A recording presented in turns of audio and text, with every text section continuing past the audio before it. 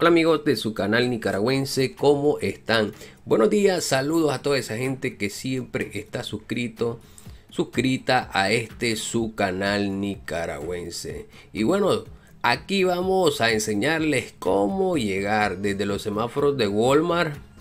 Aquí a la izquierda tenemos Walmart, la gasolina super a 49, 49 si no me equivoco 49 con unos centavos, gasolina super. Y vamos a pasar primeramente por el call center llamado Citel. Citel es un buen call center. Yo sé que muchos opinan a veces lo contrario, pero Citel ha brindado oportunidad de empleos a miles y miles de nicaragüenses que hablan el idioma inglés. Y bueno, han tenido oportunidad de ganar hasta 500, 600, 700.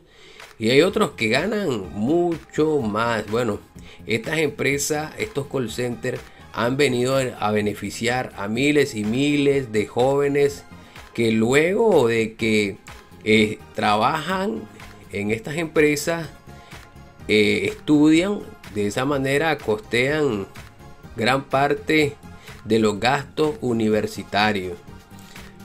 También estamos aquí llegando a la famosa cuesta de la Azososca, la Azososca, donde tomamos agua la mayoría de los nicaragüenses.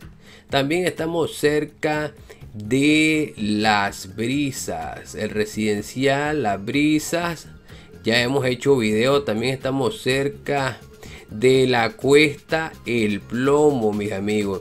Bueno, hablando un poco de las piedrecitas, es uno de los parques icónicos de Managua que por muchos años quedó abandonado, por muchos, muchos años quedó abandonado.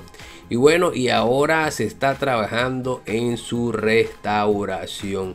No sé cuántos se acordarán no sé cuántos vinieron con su papá, con su novia. Y bueno, tendrán bonitos recuerdos de este Parque Las Piedrecitas. Aquí tenemos el barrio Bataola. Bataola, cerca de la Embajada de los Estados Unidos. Vean que la embajada de los Estados Unidos queda exactamente frente al parque Las Piedrecitas. No hay donde perderse, mis amigos.